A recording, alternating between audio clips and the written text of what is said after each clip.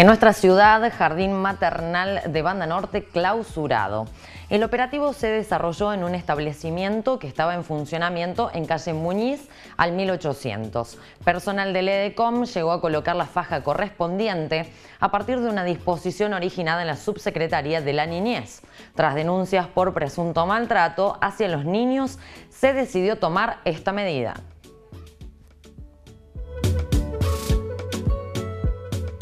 En Córdoba, abuela desaparecida desde el fin de semana. Atención, bomberos, policías y ciudadanos buscan a la mujer de 73 años que salió de su casa el domingo 2 por la tarde en la ciudad de Villa María y aún se desconoce su paradero. Se trata de Hilda Gay, quien fue vista por última vez caminando por las orillas de Ruta 9, camino a la localidad de Tío Pugio.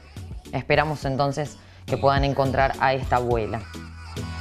A nivel nacional, peso real. El ministro de Hacienda, Nicolás Dujovne, salió a enfriar hoy el proyecto de moneda común entre la Argentina y Brasil al sostener que esa iniciativa no tiene un plazo por ahora. En su visita al país, el presidente de Brasil, Jair Bolsonaro, mencionó ante empresarios el proyecto Peso Real y generó expectativas en los dos países.